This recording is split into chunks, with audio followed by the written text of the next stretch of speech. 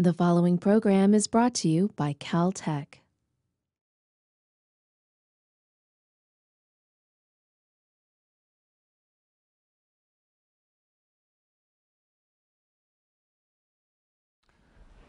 Welcome to machine learning and welcome to our online audience as well. Let me start with an outline of the course and then go into the material of today's lecture. As you see from the outline, the topics are given colors uh, and that designates their main content, whether it's mathematical or practical. Machine learning is a very uh, broad subject. It goes from very abstract theory to extreme practice, as in rules of thumb. And the inclusion of a topic in the course depends on the relevance to machine learning. So some mathematics is useful because it gives you the conceptual framework, and then some practical aspects are useful because they give you the way to deal with real learning systems. Now, if you look at the topics, these are not meant to be separate topics for each lecture. They just highlight the main content of those lectures. But there is a storyline that goes through it. And let me tell you what the storyline is like. It starts here with what is learning? Can we learn? How to do it? How to do it well? and then the take home lessons. There is a logical dependency that goes through the course, and there is one exception to that uh, logical dependency. One lecture, which is the third one, doesn't really belong here. It's a practical topic, and the reason I included it early on, because I needed to give you some tools to play around with to test the, the theoretical and conceptual aspects. If I waited until it belongs normally, which is to the second aspect of the learning models, which is down there, the, the, the, the beginning of the course will be just too theoretical for people's taste. Okay? And as you see, if you look at the colors, it is mostly red in the beginning and mostly blue in the end. So it starts building the concepts and the theory, and then it goes on to the practical aspects. Now, let me start today's lecture. And the subject of the lecture is the learning problem. It's an introduction to what learning is. And I will draw your attention to one aspect of this slide, which is this part. That's the logo of the course. And believe it or not, this is not artwork. This is actually a technical figure that will come up in one of the lectures. I'm not going to tell you which one, so you can wait in anticipation until it comes up but this will actually be a scientific figure that we will talk about. Now, when we move to, the, to today's lecture, I am going to talk today about the following. Machine learning is a very broad subject, and I am going to start with one example that captures the essence of machine learning. It's a fun example about movies that everybody watches. And then after that, I'm going to abstract from the learning uh, problem, the practical learning problem, aspects that are common to all uh, learning situations that you are going to face. And in abstracting them, we will have the mathematical formalization of the learning problem. And then we will get our first algorithm for machine learning today. It's a very simple algorithm, but it will fix the idea about what is the role of an algorithm in this case and we will survey the types of learning so that we know which part we are em emphasizing in this course and which parts are uh, nearby. And I will end up with a puzzle, a very interesting puzzle, and it's a puzzle in more ways than one, as you will see. Okay, so let me start with the example. The example of machine learning that I'm going to start with is how a viewer would rate a movie. Okay? Now, that is an interesting problem, and it's interesting uh, for us because we watch movies, very interesting for a company that rents out movies. And indeed, a company which is Netflix wanted to improve the in-house system by a mere 10%. Okay? So they make recommendations when you log in. They recommend movies that they think you will like, so they think that you rate them highly. And they had a system, and they wanted to improve the system. So how much is a 10% improvement in performance worth to the company? It was actually $1 million. that was paid out to the first group that actually managed to get the 10% improvement. So you ask yourself, okay, 10% improvement in something like that, why should that be worth a million dollars? It's because if the recommendations that the movie company makes are spot on, you will pay more attention to the recommendation. You are likely to rent the movie that they recommend, and they will make lots of money, much more than the million dollar they promised. And this is very typical in machine learning. For example, machine learning has application in financial forecasting. You can imagine that uh, the minutest improvement in financial forecasting can make a lot of money. Okay? So the fact that you can actually push the system to be better using machine learning is a very attractive aspect of the technique in a wide spectrum of applications. Okay, so what did these guys do? They gave the, the, the, the, data and people started working on the, on the problem using different algorithms until someone managed to, to, to get the prize. Now, if you look at the problem of rating a movie, it captures the essence of machine learning and the essence has three components. If you find these three components in a problem you have in your field, then you know that machine learning is ready as an application tool. What are the three? The first one is that a pattern exists. Okay, if a pattern didn't exist, there would be nothing to look for. So what is the pattern here? There is no question that the way a person rates a movie is related to how they rated other movies and is also related to how other people rated that movie. We know that much. So there is a pattern to be discovered. However, we cannot really pin it down mathematically. I cannot ask you to write a 17th order polynomial that captures how people rate movies. So the fact that there is a pattern and that we cannot pin it down mathematically is the reason why we are going for machine learning, for, for learning from data. We couldn't write down the system on our own, so we are going to depend on data in order to be able to find the system. There is a missing component which is very important. If you don't have that, you are out of luck we have to have data. We are learning from data. So if someone knocks on my door with an interesting machine learning application and they tell me how exciting it is and how great the application would be and how much money they would make, the first question I ask, what data do you have? Okay? If you have data, we are in business. If you don't, you are out of luck. Okay? If you have these three components, you are ready to apply machine learning. Okay. Now, let me give you a solution to the movie rating in order to start getting a feel for it. Okay, so here is a system. Let me start to focus on part of it.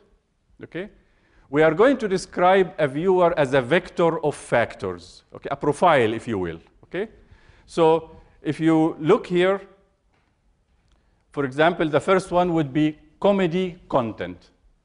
Okay, is the, does the movie have a lot of comedy? Okay, the, the, for a viewer point of view, does they like comedy? Okay? Here, do they like action? Do they prefer blockbusters or they like sort of fringe movies? And you can go on all the way, even to asking yourself whether you like the lead actor or not. Now, you go to the, to, the, to, to the content of the movie itself and you get the corresponding part. Does the movie have comedy? Does it have action? Is it a blockbuster? And so on.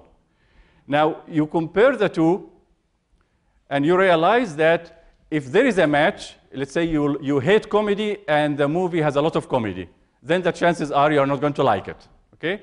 But if there is a match between so many coordinates, and this can be, you know, the, the number of factors here could be really like 300 factors, okay?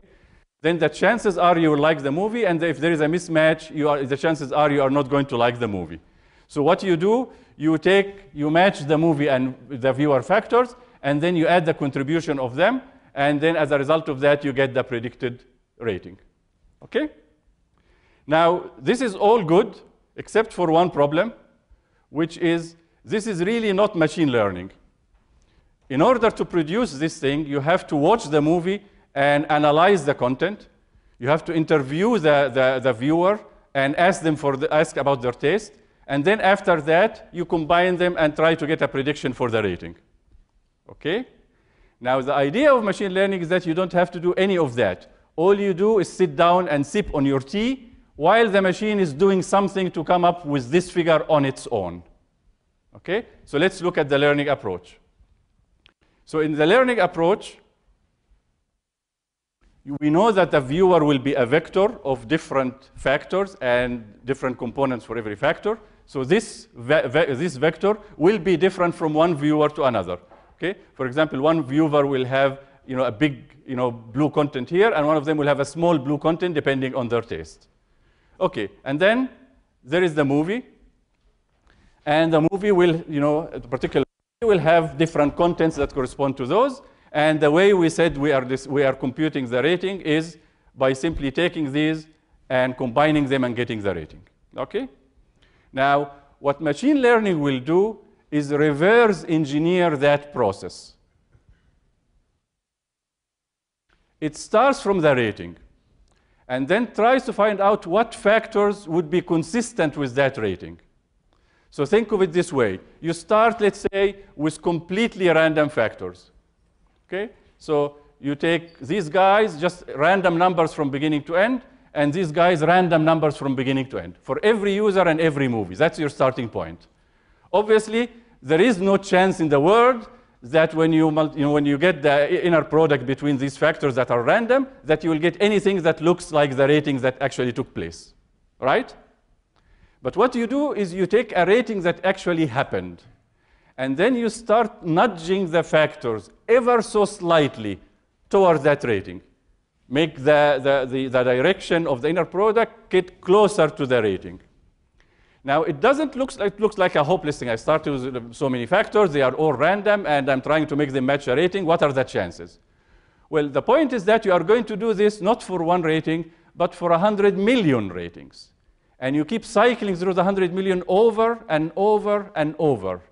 And eventually, lo and behold, you find that the factors now are meaningful in terms of the ratings.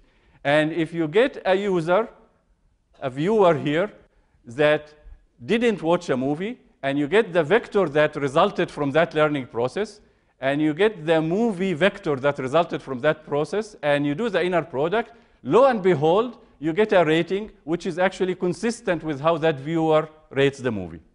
That's the idea. Okay? Now, this actually, the, the, the solution I, I described is one of the winning solutions in the competition that I mentioned. So this is for real. This actually can be used. Now, with this example in mind, let's actually go to the components of learning. So now I would like to abstract from the learning problems that I see, what are the mathematical components that make up the learning problem? And I'm going to use a metaphor, okay? So I'm going to use a metaphor now from another application domain, which is a financial application. So the metaphor we are going to use is credit approval, okay? You apply for a credit card, and the bank wants to decide whether it's a good idea to extend a credit card for you or not. From the bank's point of view, if they are going to make money, they are happy. If they are going to lose money, they are not happy. That's the only criteria they have. Now, very much like we didn't have a magic formula for deciding how a viewer will rate a movie, the bank doesn't have a magic formula for deciding whether a person is creditworthy or not. What they are going to do, they are going to rely on historical records of previous customers and how their credit behavior turned out, and then try to reverse engineer the system. And when they get the system frozen, they are going to apply it to a future customer. That's the deal. So what are the components here? Okay, let's look at the, first you have the applicant information. And the applicant information, you look at this and you can see that there is the, you know, the age, the gender, how much money you make, how much money you owe, and all kinds of fields that are believed to be related to the credit uh, worthiness. Now, again, pretty much like we did in the movie example, there is no that these fields are related to the credit worthiness. They don't necessarily uniquely determine it, but they are related bank doesn't want a sure bet. They want to get the credit decision as reliable as possible. So they want to use that pattern in order to be able to come up with a good decision. Okay? And they take this input and they want to approve the credit or deny it. So let's formalize this. First, have an input. Okay? And the input is called X, surprise, surprise. And that input happens to be the customer application. So you can think of it as a d-dimensional vector. The first component is the salary. years in residence, outstanding debt, whatever the components are. You put it as a vector, and that becomes the input. Then we get the output y. The output y is simply the decision, either to extend credit or not to extend credit. It's plus 1 and minus 1. Okay? And being a good or bad customer, that is from the bank's point of view. Okay? Now, we have, after that, the target function. The target function is a function from a domain X, which is the set of all of these. Okay? So it is a set of vectors of d dimensions. So it's a d-dimensional Euclidean space in this case. And then the y is the set of all y's. Well, that's an easy one because y can only be plus or minus 1, accept or deny. And therefore, this is just a binary codomain. Okay? And this target function is no. In all of our endeavors in machine learning, the target us. If it were known, nobody needs learning. We just go ahead and implement it. But we need to learn it because it is unknown to us. So what are we going to do? We're going to use data, examples. So the data in this previous record. How they turned out in hindsight. This is not a question of prediction at the time they applied, but after five years, they turned out to be a great customer. So the bank says, okay, if someone has these attributes again, let's approve credit because these guys tend to make us money. Okay? And this one made us lose a lot of money, so let's deny it, and so on. And the historical records, there are plenty of historical records. All of this makes sense when you are talking about you have 100,000 of those guys. Then you pretty much you say, okay, I will capture what the essence of that function is. So this is the data. And then you use the data, which is the historical records, in order to get the hypothesis. The hypothesis is the formal name we are going to, to, to call the formula we get to approximate the target function. So the hypothesis lives in the same word as the target function. And if you look at the value of g, it supposedly approximates f. While f is unknown to us, g is very much known. Actually, we created it. And the hope is that it does approximate f well. That's the goal of learning. Okay? So this notation will be our notation for the rest of the course. So get used to it. The target function is always f. The hypothesis we produce, which we refer to as the final hypothesis, will be called g. The data will always have that notation. There are capital N points, which are the data set. And the output is always y. Okay, so this is the formula to be used. Now let's put it in a diagram in order to uh, analyze it uh, a little bit more, okay? So if you look at the diagram here, here is the target function, and it is unknown. That is the ideal approval, which we'll never know, but that's what we are hoping to, to get to approximate. And we don't see it. We see it only through the eyes of the training examples. This is our vehicle of understanding what the target function is. Otherwise, the target function is a mysterious quantity for us. And eventually, we would like to produce the final hypothesis. The final hypothesis is the formula the bank is going to use in order to approve or deny credit, with the hopes that G hopefully approximates that F. Okay. Now, what connects those two guys? This will be the learning algorithm. So the learning algorithm takes the examples and will produce the final hypothesis, as we described in the example of the movie rating. Now, there is another component that goes into the learning algorithm. So what the learning algorithm does, it creates the formula from a preset uh, model of formulas, set of candidate formulas, if you will. And these we are going to call the hypothesis set, a set of hypotheses from which we are going to pick one hypothesis. So from this H comes a bunch of small h's, which are functions that can be candidates for the, being the, the credit approval. And one of them will be picked by the learning algorithm, which happens to be G, hopefully approximating F. Now, if you look at this part of the chain, from the target function to the training to the learning algorithm to the final hypothesis, this is very natural, and nobody will object to that. But why do we have this hypothesis set? algorithm picked from any thing. Just create the formula without being. There are two reasons, and I want to explain them. One of them is that there is no downside for including a hypothesis set in the formalization, and there is an upside. So let me describe why there is no downside and then describe why there is an upside. There is no downside for the simple reason that from a practical point of view, that's what you do. You want to learn, you say, I'm going to use a linear formula, I'm going to use a neural network, I'm going to use a support vector machines. So you are already dictating a set of hypotheses. If you happen to be a brave soul and you don't want to restrict yourself at all, very well. Then your hypothesis set is the set of all possible hypotheses. Right? So there is no loss of generality in putting it. So there is no downside. The upside is not obvious here, but it will become obvious as we go through the theory. The hypothesis set will play a pivotal role in the theory of learning. It will tell us can we learn and how will we learn and what not. Therefore, having it as an explicit component in the problem statement will make the theory go through. So that's why we have this figure. Okay, so now let me focus on the solution components of that figure. What do I mean by the solution components? If you look at this, the first part, which is the, the, the target, let me try to expand it. So the target function is not under your control. Someone knocks on my door, he says, I want to approve credit. That's the target function. I have no control over that. And by the way, here are the historical records. I have no control over that, so they give me the data. And would you please hand me the final hypothesis? Okay, that is what I'm going to give them at the end before I receive my check. Okay? So all of that is completely dictated. Now let's look at the other part.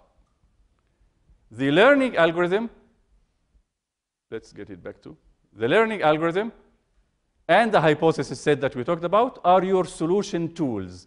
These are things you choose in order to solve the problem.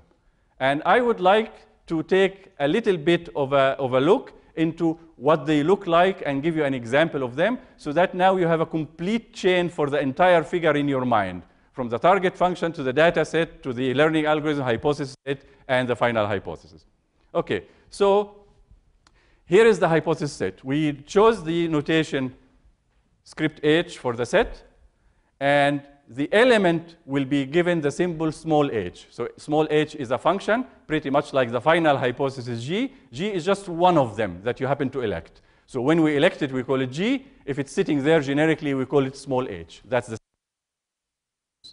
and then there is the learning algorithm. These are the ones you need to choose. Okay?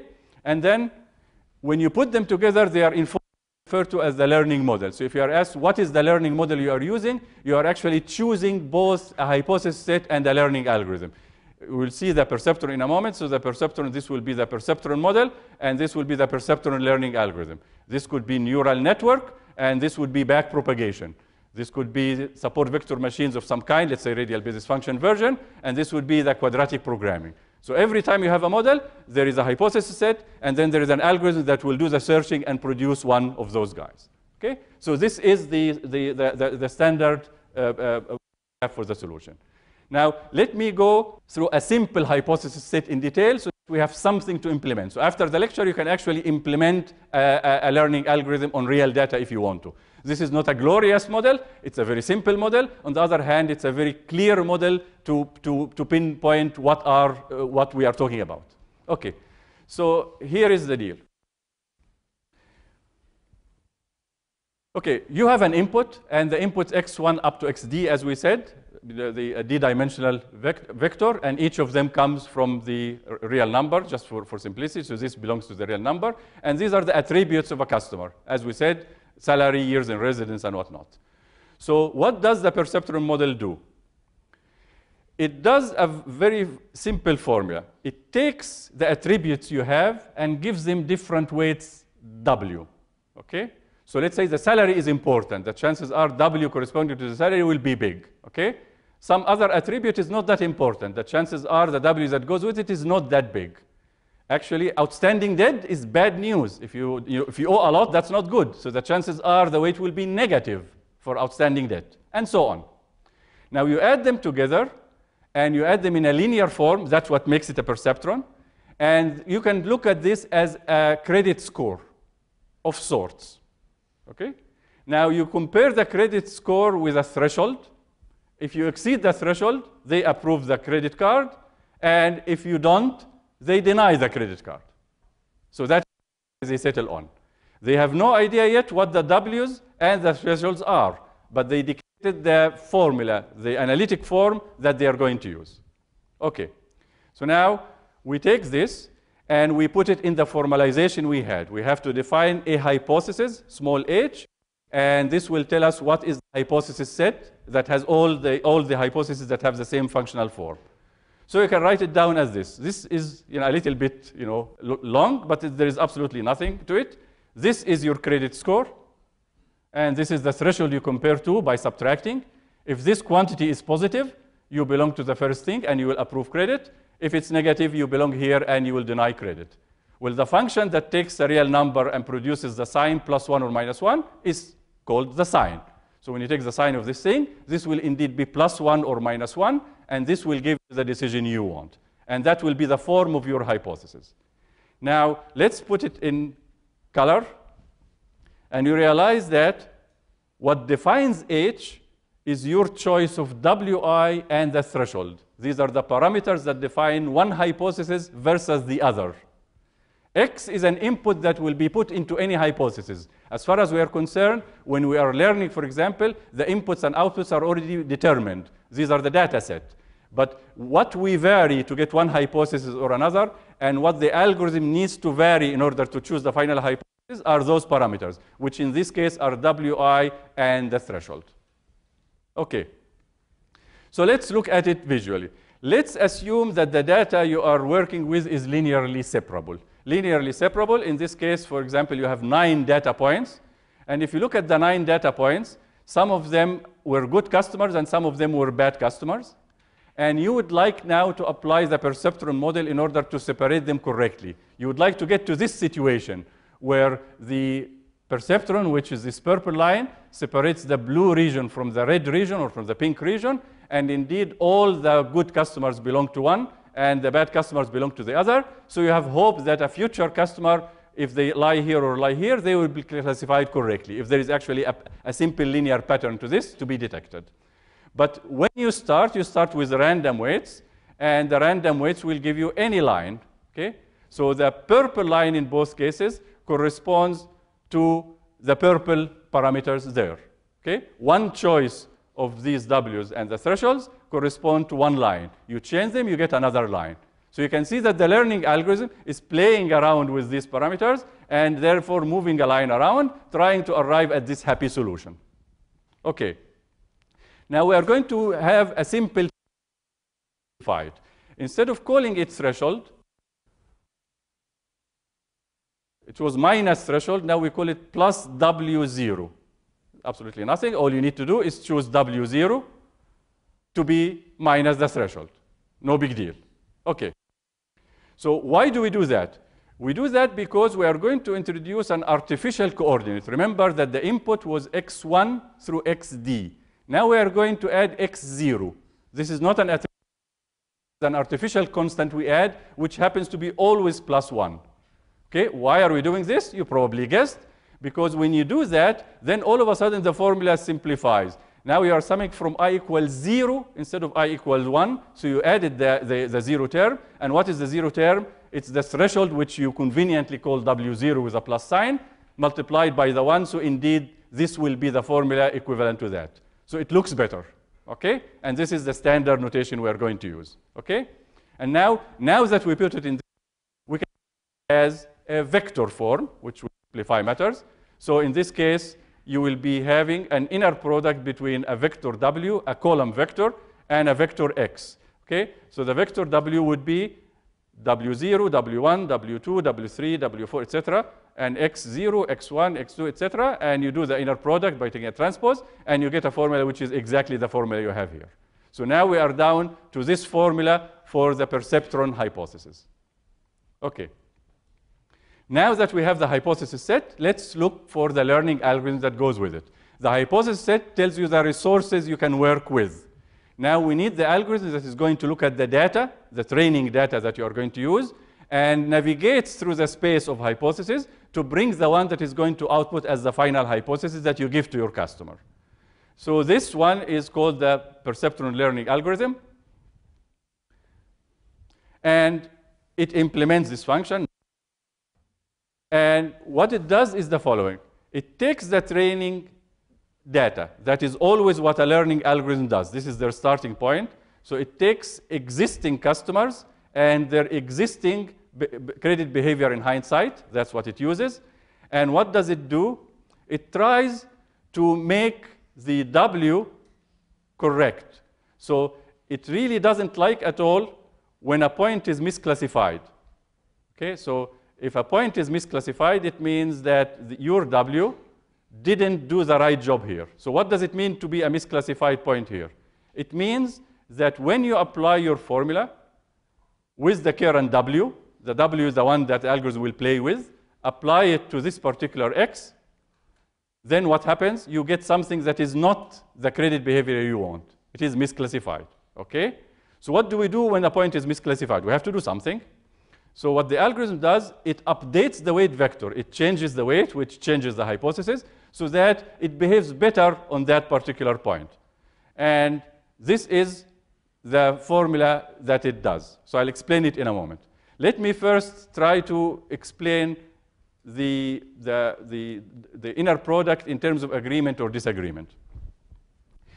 If you have the vector x and the vector w this way, their inner product will be positive, and the sign will give you a plus 1. If they are this way, the inner product will be negative, and the sign will be minus 1. So being misclassified means that either they are this way, and the output should be minus 1, or it's this way, and the output should be plus 1. That's what makes it misclassified, right? Okay, so if you look here, at this formula, it takes the old W and adds something that depends on the misclassified point, bo both in terms of the xn and yn. Well, yn is just plus or minus 1. So here you are either adding a vector or subtracting a vector. And we will see from this diagram that you are always doing so in such a way that you make the point more likely to be correctly classified. How is that? If y equals plus 1, as you see here, then it must be that since the point is misclassified, that w dot x was negative.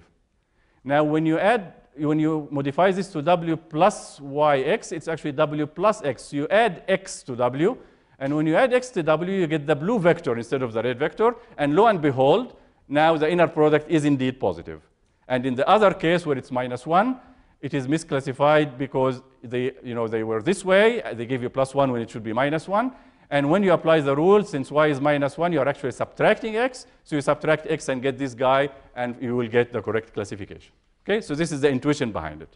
However, it's not the intuition that makes this work. There are a number of, of, of, of, you know, problems with this, uh, with this approach. I just sort of motivated that this is not a crazy rule, whether, it's not, whether or not it's a working rule that is yet to be seen.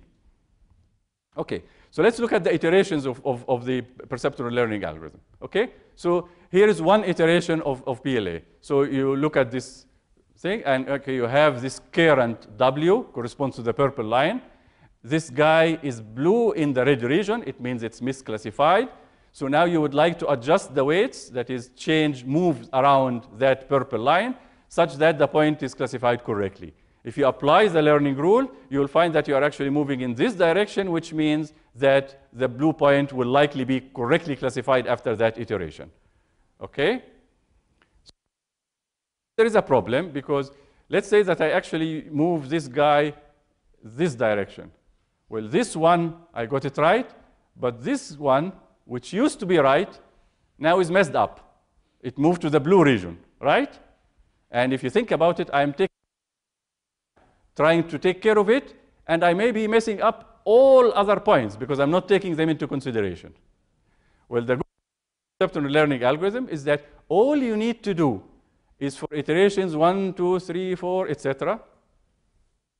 Pick a misclassified point, any one you like,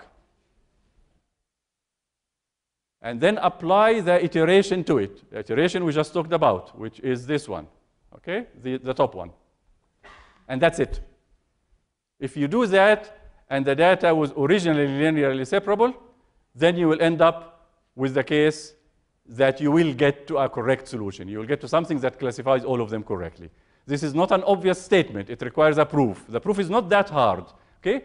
But it gives us the simplest possible learning model we can think of. It's a linear model, and this is your algorithm. All you need to do is be very patient because one, two, three, four, da, da, da, this is really long. At times it can be very long. But it that's the promise, as long as the data is linearly separable. Okay? So now we have one learning model, and if I give you now uh, uh, data from a bank, previous customers and their credit behavior, you can actually learning algorithm and come up with a 5G that you can hand to the bank. Not clear at all that it will be good, because all you did was match the historical record. Well, you may ask the question, if I match the historical records, does this mean that I'm getting future customers right, which is the only thing that matters? The bank already knows what happened with the previous customers. It's just using the data to help you find a good formula. Formula will be not good to the extent that it applies to a new customer and predicts the behavior correctly. That's a loaded question, which will extreme detail when we talk about the theory of learning. That's why we have to develop all of this theory. Okay, so that's it. And that is the, the perceptron learning algorithm. Now, let me uh, go into the bigger picture of learning because what I talked about so far is one type of learning. Happens to be by far the most popular and the most used. But there are other types of learning. Okay, so let's talk about the premise of learning from which the different types came about. That's what learning is about. Okay. This is the common premise between, that is common between any problem that you would consider learning. You use a set of observations, what we call data, to uncover an underlying process. In our case, the target function. Now, you can see that this is a very broad premise. And therefore, you can see that people have rediscovered that over and over and over in so many disciplines. Okay, can you think of a discipline other than machine learning that uses that as its exclusive premise? Anybody has taken, have taken courses in statistics? Okay, so in statistics, that's what they do. The underlying process is a probability distribution. And the observations are samples generated by that distribution. And you want to take the samples and predict what the probability distribution is. And over and over, there are so many disciplines under different names. Now, when we talk about different types of learning, it's not like we sit down and look at the word and say, okay, this looks different from this because the assumptions look different. What you do is you take this premise and applying it in a context. And that calls for a certain amount of mathematics and algorithms. If a particular set of assumptions takes you sufficiently far from the mathematics and the algorithm you used in the other disciplines that you sort of it, it, you know it takes on a life of its own and it develops its own math and algorithms then you declare it a different type okay so when i list the types it's not completely obvious just by the slide itself that these should be the types that you have but for what it's worth these are the most important types First one is supervised learning. That's what we have been talking about, and I will discuss it in detail and tell you why it's called supervised. And it is by far the concentration of this course. There is another one which is called unsupervised learning. And unsupervised le learning is very intriguing. I will mention it briefly here, and then we will talk about a very famous algorithm for unsupervised learning later in the course. And the final type is reinforcement learning, which is even more intriguing and I will discuss it in, in the sort of a brief introduction uh, in, in a moment. Okay, so let's take them one by one. Supervised learning. So what is supervised learning? Okay, anytime you have the data that is given to you with the output explicitly given, here is the, the user and movie, and here is the rating. Okay, here is the previous customer, and here is their credit behavior. It's as if a supervisor is helping you out in order to be able to classify the future ones. That's why it's called supervised. So let's take an example of coin recognition just to be able to contrast it with unsupervised learning in a moment. Okay, so let's say you have a vending machine and you would like to, eh, eh, you would like to make the system able to recognize the coins. So what do you do? You have physical measurements of the coin. Let's be simplistic and say we measure the size and mass of the coin you put.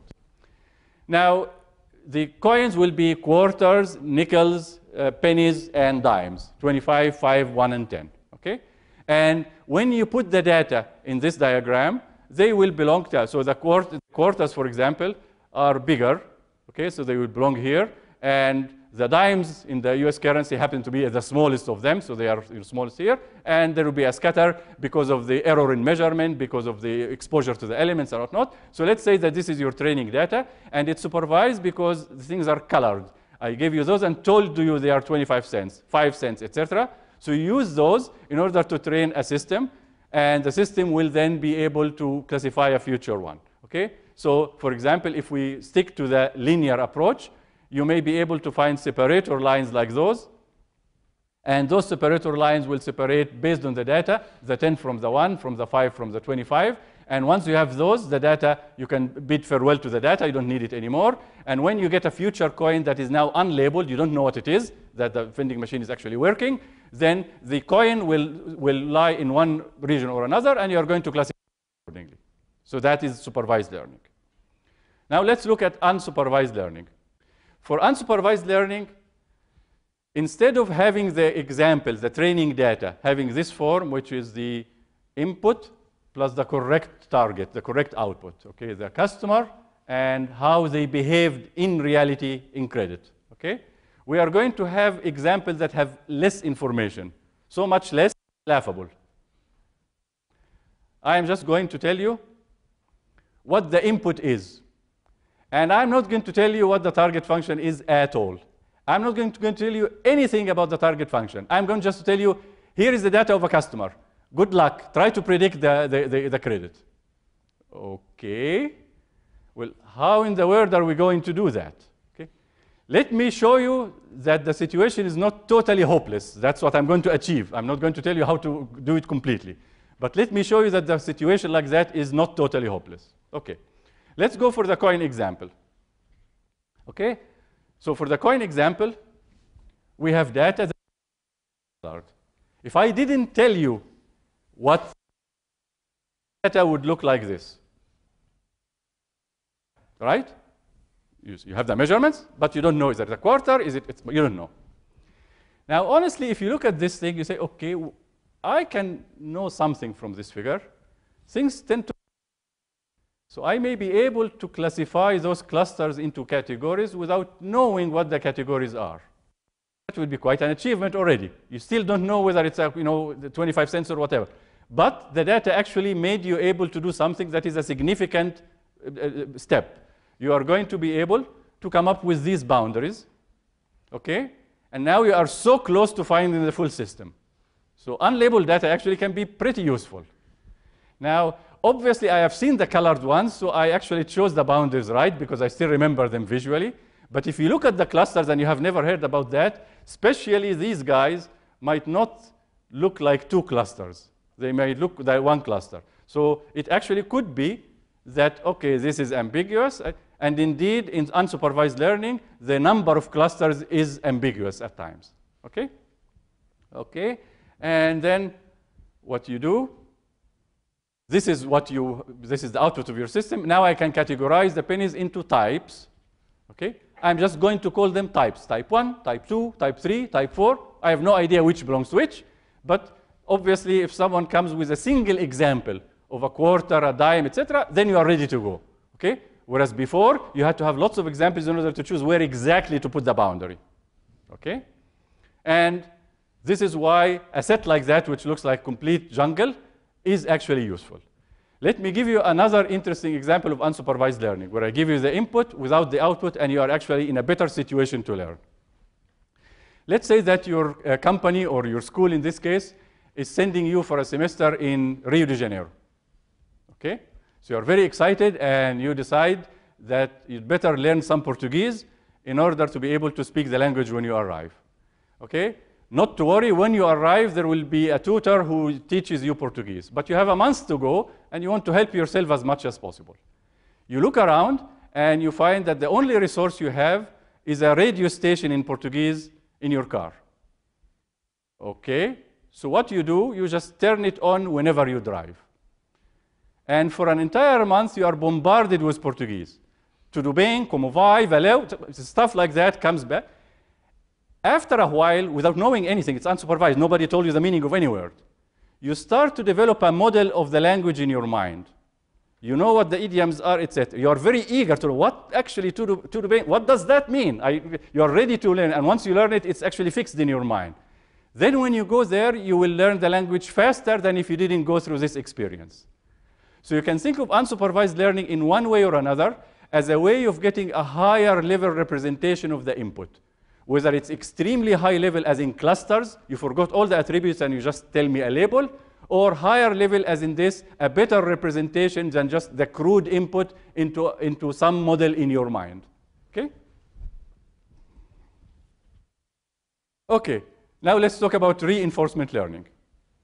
In this case, it's not as bad as unsupervised learning. So again, the benefit of supervised learning, you don't get the correct output. What you do is, I will give you the input. Okay, thank you very much. That's very kind. What else? I am so some output. Uh, is the correct output? No, some output.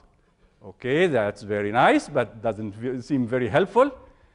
It looks right now like unsupervised learning because in unsupervised learning I could give you some output. Here is a dime. Oh, it's a quarter. It's some output. Okay. So information. The information next one. I'm going to grade this output. So that is the information provided to you. So I'm not explicitly going you, giving you the output, but when you choose an output, I'm going to tell you how well you are doing. Reinforcement learning is interesting because it is mostly our own experience in learning. Think of a toddler and a hot cup of tea in front of her. She's looking at it and she's very curious. So she reaches to touch and she starts crying. The reward is very negative for trying. Now, next time she looks at it and she remembers the previous experience and she doesn't touch it. But there is a certain level of pain because there is an unfulfilled curiosity. Okay? And the curiosity kills the cat. In three or four trials, that toddler tries again. Maybe now it's okay. And then, okay. Eventually, from just the grade of the behavior of to touch it or not to touch it, the toddler will learn not to touch cups of tea that have smoke coming out of them. Okay? So that is a case of reinforcement learning. The most important application, or one of the most important applications of reinforcement learning, is in playing games. Okay? So backgammon is one of the games, and think that you want a system to learn it. So what you want, you want to take the current state of the board, and you, take, you roll the dice, and then you decide what is the optimal move in order to stand the best chance to win. That's the game. So the target function is the best move given a state. Now, if I have to generate those things in order for the system to learn, then I must be a pretty good backgammon player already. So now it's a you know, vicious cycle, okay? So now reinforcement learning comes in handy. What you are going to do, you are going to have the computer choose any output, a crazy move for all you care. And then see what happens eventually. So this, you know, this computer is playing against another computer. Both of them want to learn. And you make a move, and eventually you win or lose. So you propagate back the credit because of winning or losing, according to a very specific and sophisticated formula, into the, all the moves that happened. Okay? Now you think like completely hopeless because maybe this is not the move that resulted in this, it's another move. But always remember that you are going to do this 100 billion times. Not you, the poor computer. You are sitting down, sipping your tea. Okay? The computer is doing this, playing against an imaginary compo component, and they keep playing and playing and playing. And in three hours of CPU time, you go back to the computer, maybe not three hours, maybe three days of CPU time. You go back to the computer, and you have a backgammon champion. Actually, that's true. The word champion at some point was a neural network that learned the way I described. Okay? So it is actually a very attractive approach because, okay, so machine learning now, we have a target function that we cannot model that covers a lot of territory. I've seen a lot of those. We have data coming from the target function. Okay, I usually have that. And now we have lazy man's approach to life. We are going to sit down and let the computer do all the work and produce the system we want. Instead of studying the thing mathematically and writing code and debugging, I hate debugging, okay? And then you go, no, we're not going to do that. The learning algorithm just works and produces something good. Okay? And we get the check. So this is a pretty good deal. It actually is so good, it might be too good to be true. Okay, so let's actually examine if all of this was a fantasy. So now I'm going to give you a learning puzzle. Okay? Humans are very good learners, right? Okay? So I am now going to give you a learning problem in the form that I described, a supervised learning problem.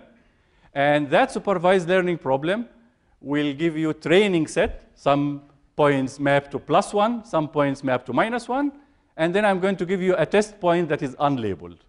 Your task is to look at the examples, learn the target function, apply it to the test point, and then decide what the value of the function is. After that, I'm going to ask who decided that the function is plus one and who decided that the function is minus one. Okay? It's clear what the deal is. Okay? And I would like our online audience to do the same thing. And please text what the solution is, just plus one or minus one. Okay? Fair enough? Let's start the game. Okay? What is above the line are the training examples. I put the input as a three by three pattern in order to be visually easy to understand. But this is just really nine bits worth of information. And they are ones and zeros, black and white. And for this input, this input, and this input, the value of the target function is minus one. For this input, this input, and this input, the value of the target function is plus one. Now this is your data set, this is your training set. Now you should learn the function. And when you are done, could you please tell me what your function will return on this test point? Is it plus one or minus one? I will give everybody 30 seconds before I ask for answers. Maybe we should have some background music. We should, okay.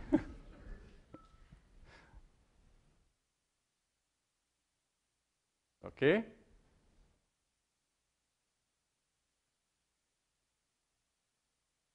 Okay, time is up. The, uh, the learning, your learning algorithm has converged, I hope.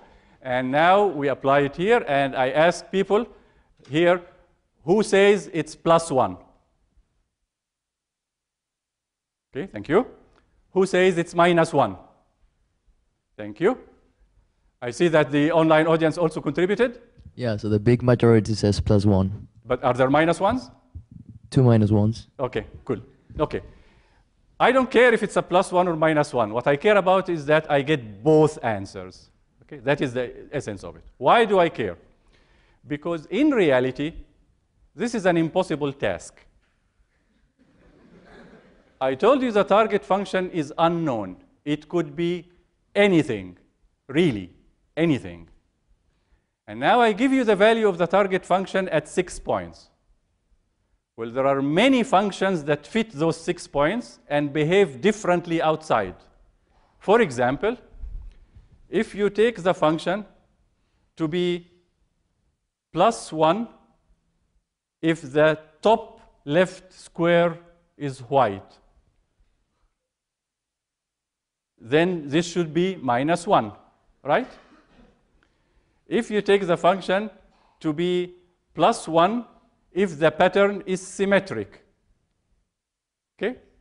So you can see it. Uh, so let's see. If uh, the, the, the, the, I said it the other way around. So the, you know, the, the, the top one is black, it would be minus 1. So this would be minus 1. If it's symmetric, it would be plus 1. So this would be plus 1 because this guy has both this black and also is symmetric. Right?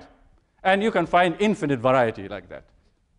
And that problem is not restricted to this case. Okay? the, the, the, the question here is obvious. Function is unknown. You really mean unknown, right? Yes, I mean it. Unknown, anything. Yes, I do. Okay? You give me a finite sample. Well, it can be anything outside. How in the world am I going to tell what the learning outside is? Okay, that sounds about right. But we are in trouble because that's the premise of learning. If the goal was to memorize the examples I gave you, that would be memorizing, not learning. Learning is to figure out a pattern that applies outside. And now we realize that outside, I cannot say anything. Okay, does this mean that learning is doomed? Well, this is going to be a very short course, okay?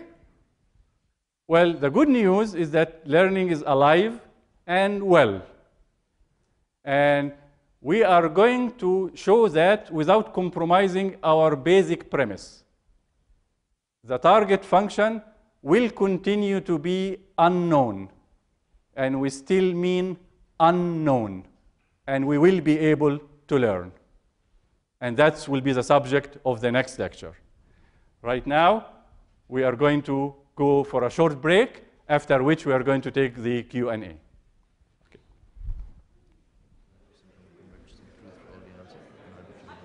Okay. So we'll start the, the, the Q&A, and we will get questions uh, from the class here and from the online audience. And if you'd like to ask a question, let me ask you to go to this side of the room where the mic is, so that you, you, your, your question can be heard. And we will you know, alternate, if there are questions here, we'll alternate between, between campus and, and off campus. So let me, let me start if, you have a, if there's a question from outside. Yes, so the most common question is, um, so how, how do you determine if a set of points is linearly separable? What do you do if they're not separable? Okay, so the, the, the linear separability assumption is a very simplistic assumption and doesn't apply mostly in practice. And I chose it only because it goes with a very simple algorithm, which is the perceptron learning algorithm. There are two ways to deal with the case of uh, linear inseparability. There are algorithms, and most, most algorithms actually deal with that case.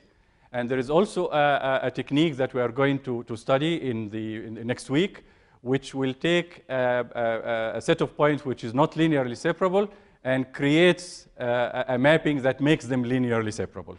So there is a way to, to, to, to deal with it. However, the, the question, how do you determine it's linearly separable? The right way of doing it in practice is that when someone gives you data, you assume in general it's not linearly separable. It will hardly ever be, and therefore you take techniques that can deal with that case as well. There is a simple modification of the perceptron learning algorithm, which is called the pocket algorithm, that applies the same rule with a very minor modification and deals with, with the case where the, the, the data is, is not separable.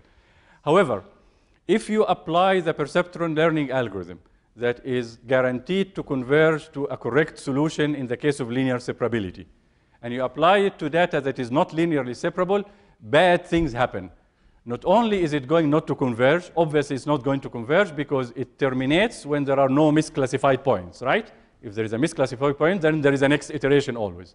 So since the data is not linearly separable, we will never come to a point where all the points are classified correctly. So this is not what is bothering us.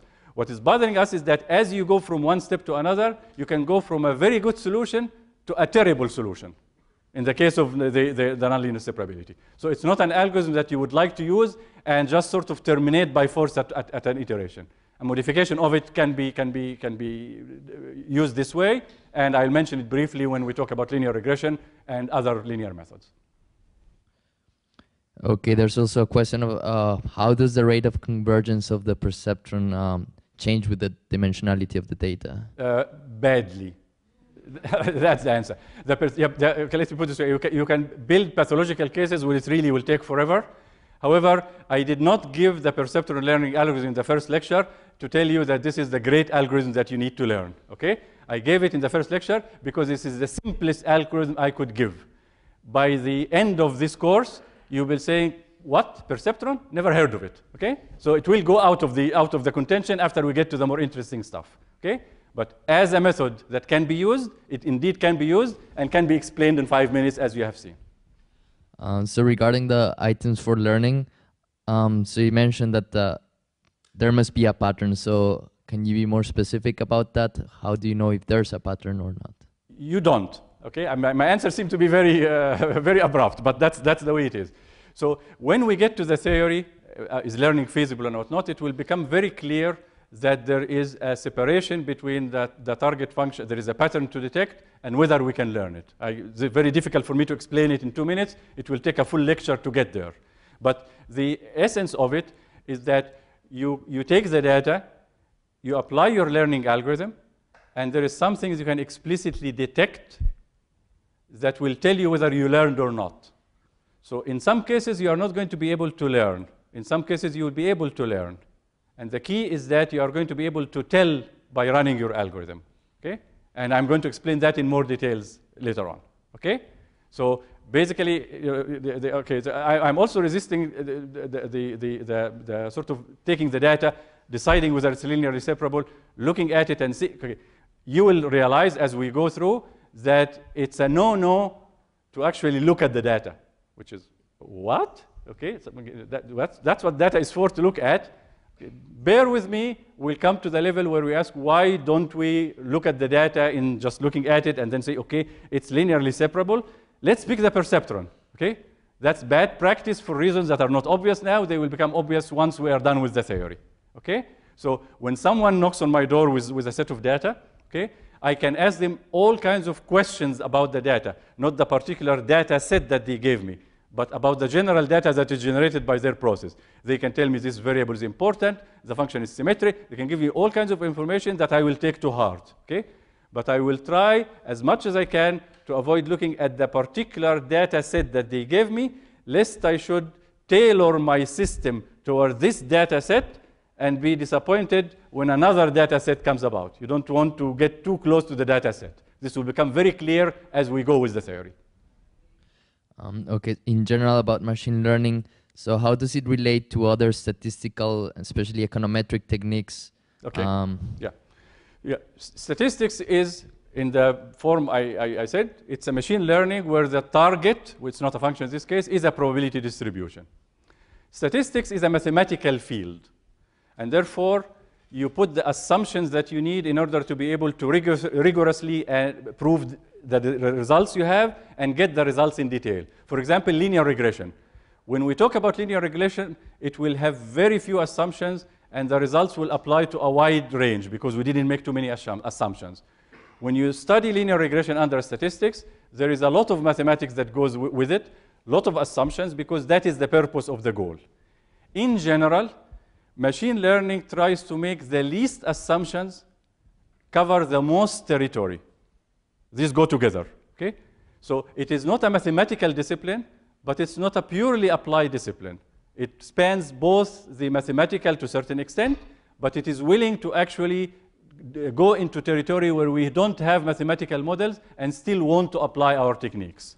So that is uh, what, what characterizes it the most. And then there are other fields. I mean, you know, by the way, machine learning, you can find it under the name computational learning or statistical learning. Data mining has a huge intersection with, with, with, with machine learning. There are lots of disciplines around that actually you know, share some value.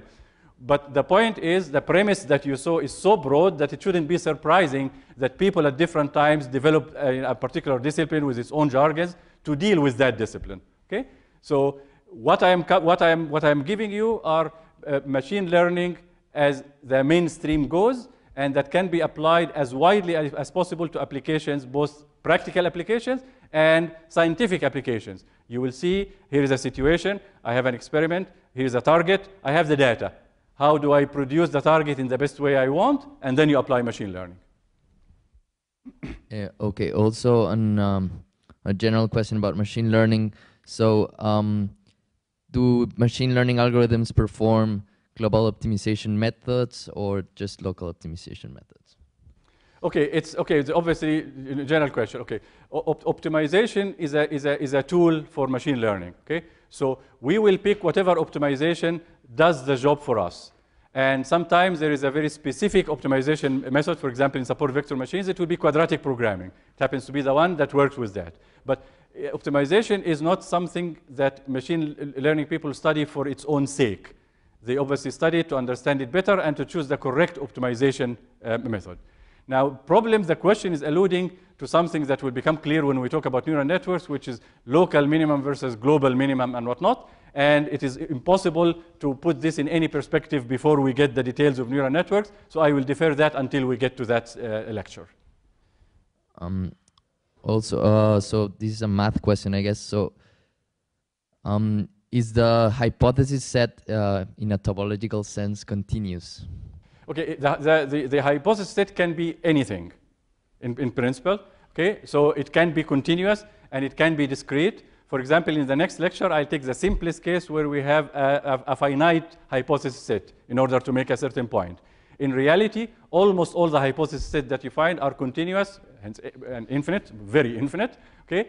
And the, the, the le level of, of sophistication of the hypothesis set can be huge, okay? And nonetheless, we will be able to, to see that under one condition, which is the, that comes from the theory, we will be able to learn even if the hypothesis set is huge and, and, and, and, and, and, and complicated. I Here's a question from, from, from inside, yes. I think I understood more or less uh, the uh, the general idea, but I don't understand the second example you gave about credit approval. So uh, how do we collect our data?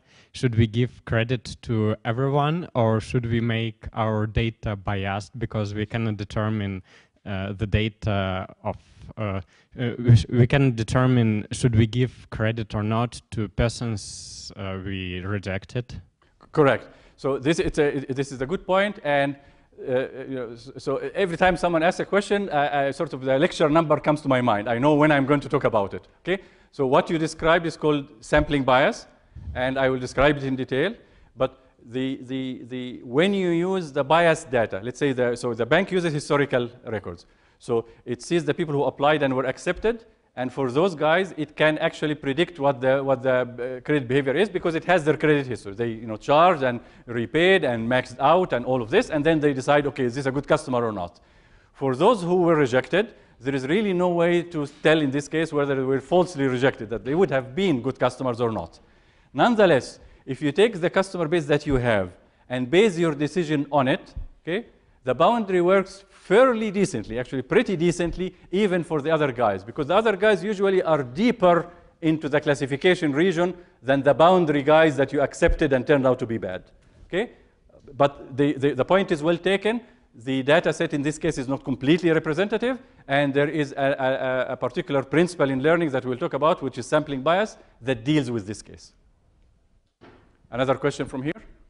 Uh, you explained that we need to have a lot of data to learn. So how do you decide, you know, how much amount of data that is required for a particular problem in order to be able to come up with Okay. a reasonable? Okay, good question. Okay, so let me tell you the theoretical and the practical answer. Okay, the theoretical answer is that this is exactly the crux of the theory part that we are going to talk about.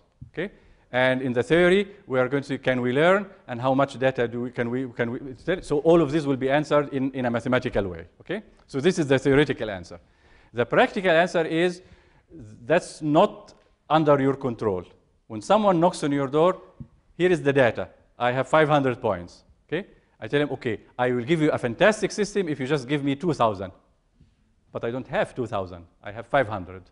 So now you go and you use your theory to do something to your system such that it can work with the 500. Okay?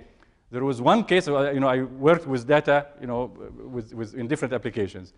At some point, we had almost 100 million points. Okay? You were swimming in data. Okay? You wouldn't complain about data. Data was wonderful. Okay? And in another case, there were less than 100 points.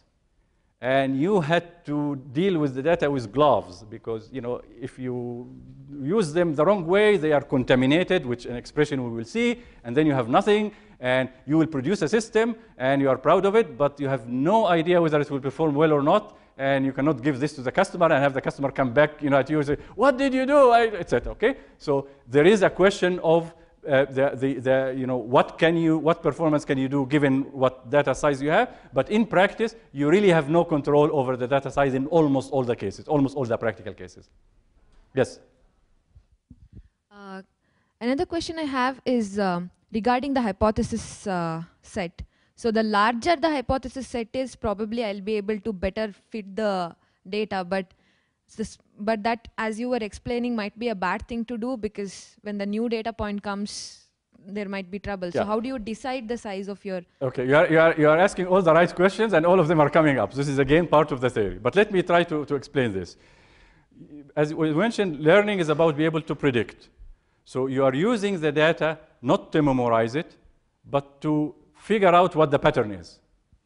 And if you figure out a pattern that applies to all the data, and it's a reasonable pattern, then you have a chance that it will generalize outside. Now, the problem is that if I give you 50 points and you use a 7,000th order polynomial, you will fit the heck out of the data. You will fit it so much with so many degrees of freedom to spare. But you haven't learned anything. You just memorized it in a fancy way. You put it in a polynomial form, and that actually carries all the information about the data that you have, and then some. So you don't expect at all that this will generalize outside. And that intuitive observation will be formalized when we talk about the theory. There will be a measurement of the hypothesis that you give me that measures the sophistication of it, and will tell you with that sophistication, you need that amount of data in order to be able to make any statement about generalization. So that is what the theory is about. Uh, suppose i mean here whatever we discussed it is like i had a data set and i came up with a algorithm and gave the output. But uh, won't it be also important to see okay we came up with the output and using that what was the uh, like the feedback? So will are there like techniques where you take the feedback and try to kind of correct your uh, Okay, I mean, there are, I mean, you're, you're alluding to, to, to, to, different techniques here, but one of them would be validation, which is after you learn, you validate your solution and, and, and whatnot. And this is an extremely established and core technique in machine learning that will be covered in one of the lectures. Thank you. Sure.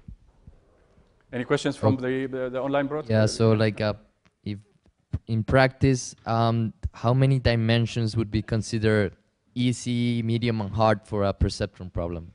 okay, the, the, okay, so the, the, okay, hard in most people's mind before they get into machine learning is the computational time.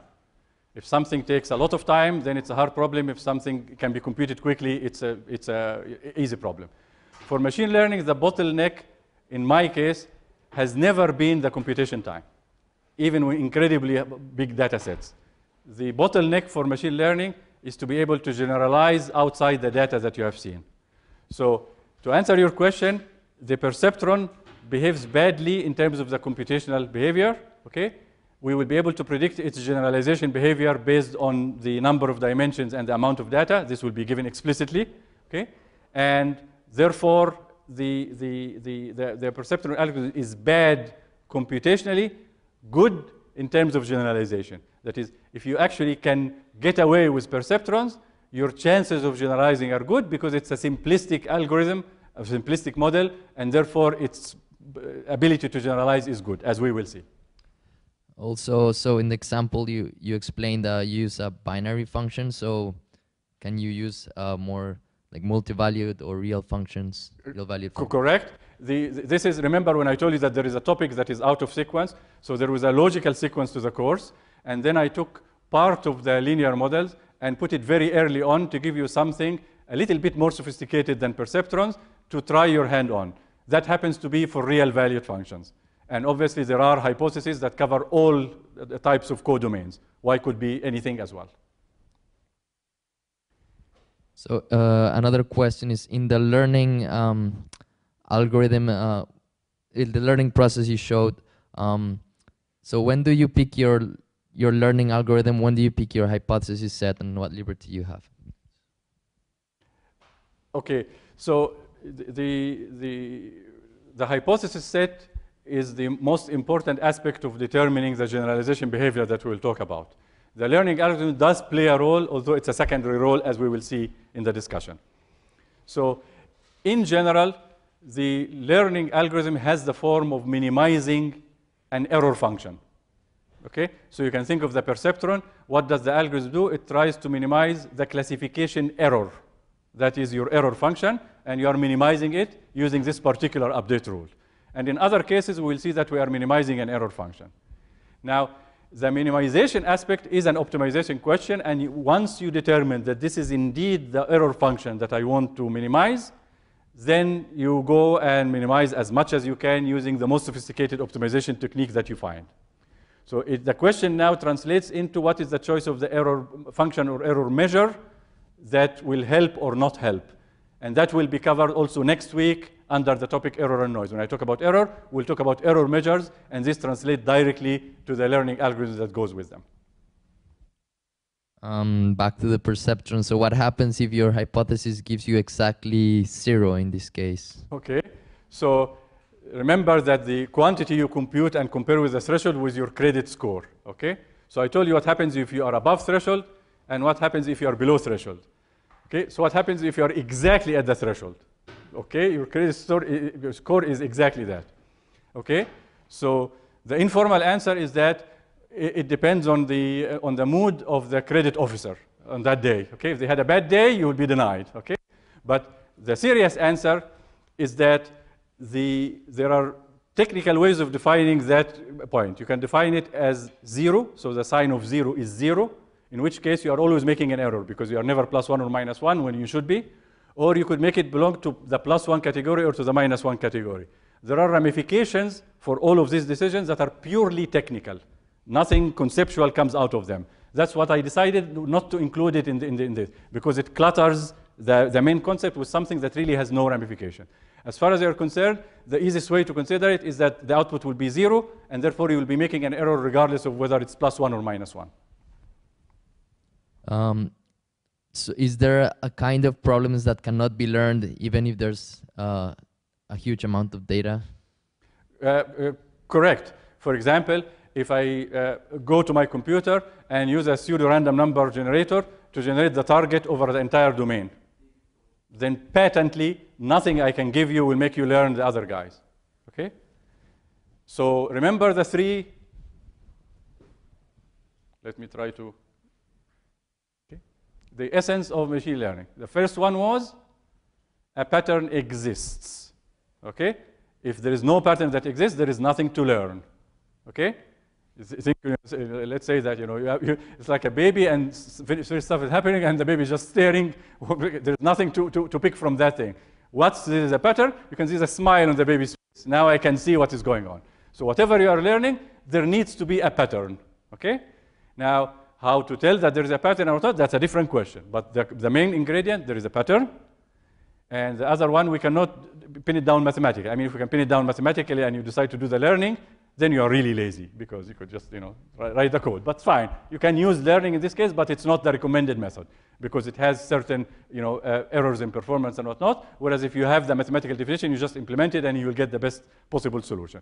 And the third one, you have data, which is the, okay, so you have plenty of data, but, there is, but the first one is, is off, you are simply not going to learn. And it's not like I have to answer each of these questions at random, like I'm, the theory will completely capture what is going on. So it, it, there's a very good reason for going through four lectures in the outline that are mathematically inclined. Okay, this is not for the sake of math. I don't like to, to, to, to, you know, to, to, to do math hacking, if you will. Okay, I pick the math that is necessary to establish a concept. And these will establish it, and they are very much worth being patient with and going through. Because once you are done with them, you basically have it called about what are the components that make learning possible, and uh, how do we tell, and all of the questions that have been asked. Uh, historical question. So why is the perceptron uh, often related with a, a neuron? Okay, I, I, will discuss this on neural networks, but in general, the, the, when, you, when you take a neuron and synapses, and you find what is the function that, that, that gets to, the neuron, you find that the neuron fires, which is plus one, if the signal coming to it, which is roughly a combination of the, the, the stimuli, exceeds a certain threshold. So that was the, the, the, the, the initial inspiration. And the initial inspiration was, was that, okay, you know, the brain does a pretty good job. So maybe if we mimic the function, we will get something good. But you mimicked one neuron, and then you put it together, and you'll get the neural network that we are talking about. And I will discuss the, the, the, the analogy with biology and the extent that it can be benefited from and or not when we talk about neural networks, because that will be the more proper context for that. Um, another question is, so regarding hypothesis set, is there, are there Bayesian hierarchical procedures to uh, narrow down the the the, the hypothesis. Yeah. Okay. So the, the, the, the choice of the hypothesis set and the model in general is model selection, and there is quite a bit of, of, of, of stuff that we are going to talk about in model selection when we, when we talk about validation. In general, the, the word Bayesian was mentioned here, and there is, if you look at the, the, the machine learning, there are schools that deal with the subject differently. Okay? So, for example, the Bayesian school puts a mathematical framework completely on it, and then everything can be derived, and that is based on, on, on Bayesian principles. I will talk about that at the very end. So it's last but not least, okay? And I will make a very specific point about it for what it's worth. But I'm, what I'm talking about in, in, in, the, in, the, in, the, in the course, in all of the details, are the most commonly useful methods in practice. That is my criteria for inclusion, okay? So I will get to that when, when, when, we, when we get there. In terms of a hierarchy, there is uh, uh, uh, there, there, are a number of hierarchical methods. For example, stru structural risk minimization is one of them. There are methods of, of, of, hierarchies and the ramifications of it in generalization. I may touch upon it when I get to support vector machines. But again, there is, there is a lot of theory. And if you read a book on machine learning written by someone from pure theory, you would think that you are reading about a completely different subject. Okay? It's respectable stuff, but different from the other stuff that is practiced. So one of the things that I'm trying to do, I'm trying to pick from all the, the, the, the, the, the, components of machine learning, the big picture that gives you the understanding of the concept and the tools to use it in practice. That is the criteria for inclusion. Okay, any questions from, from, from the inside here? Okay, we'll call it a day and we'll see you on Thursday.